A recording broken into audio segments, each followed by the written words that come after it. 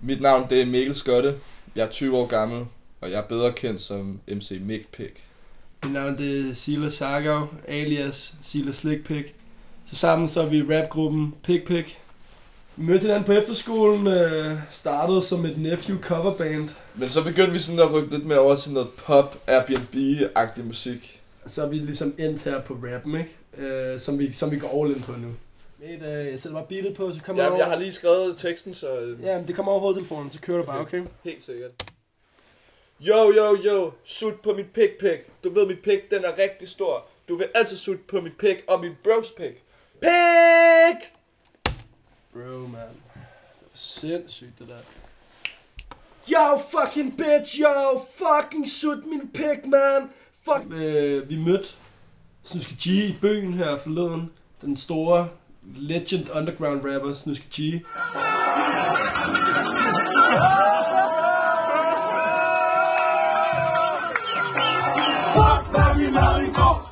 Øhm, og, og han indvildede at komme hjem og vise os nogle, nogle tips, nogle tricks til, hvordan vi kunne lave bangeren der, der ligesom skulle få os op på det næste niveau.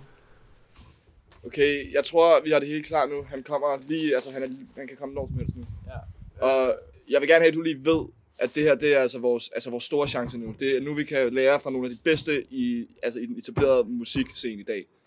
Ja, ja, men Og nu tager du dig fucking sammen, okay? Du skal ikke, du skal ikke bakke ud. Ja, ja, ja, 100%. Jeg er der, jeg er der, jeg er der mentalt, jeg er der fysisk, okay? Spar, vi skal ikke fuck op nu.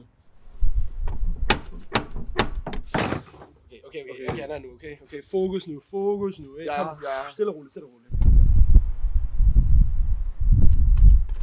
Hej, hej! Gud, hej! Hvad satan? Anton, Anton, tak fordi jeg måtte komme. Ja, tak. Så øh, hele humlen er ligesom, at vi har inviteret dig herhen, for ligesom at få nogle, nogle fifs og sådan noget, nogle tricks til, hvordan vi får en sang til at bange, hvordan vi laver det der hit. Jamen, det, jeg, jeg er rigtig glad for at hjælpe jer. Det er også, det, jeg mærke, det er lang tid siden, jeg har lavet noget, men jeg er ikke... øh, Jeg er ikke helt klar over, hvad det egentlig er for noget, jeg laver. Vil I prøve bare at spytte nogle bars for mig? Jo, det kan jeg da godt prøve. Så skal jeg bare... Skal, okay, nu gør jeg det bare. Det Pik, pik, pik og mit pik. Pik, pik, pik til det pik i din kus, øh, pik i din te, og pik i din kaffe med mælk. Pik, pik, og det er min pik. Pik, pik, og den går til det pik. Okay, drengen. Er, dit, er det meget det samme? Handler det om det samme? Øh, Altså, det er jo, det er jo, det er jo, altså, det er jo samme stemning, vi prøver at ramme. Jeg har virkelig lyst, lyst til at strid. Det, det er jo ikke dårligt. Det er måske meget fedt, men jeg kan ikke helt ærligt sige det er godt. Det er som om, I mangler noget. det er der, hvor vi har dig inde, fordi vi tænkte, har du det der trick, girl? Altså, Drenge, jeg har det helt rette med til jer. Lige her i min lomme. Midt, midt.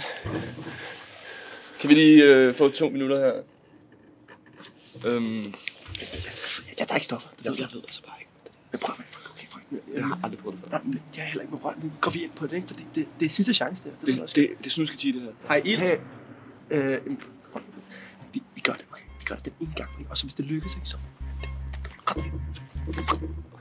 Ja, ja, jeg har lighter.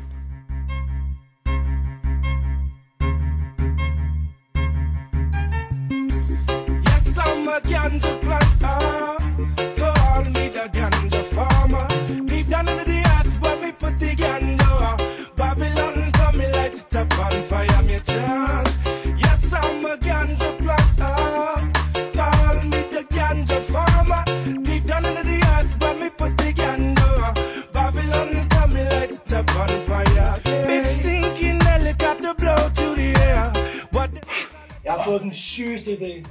Hvad med i stedet for pik, så pind? Åh! Mm. Oh!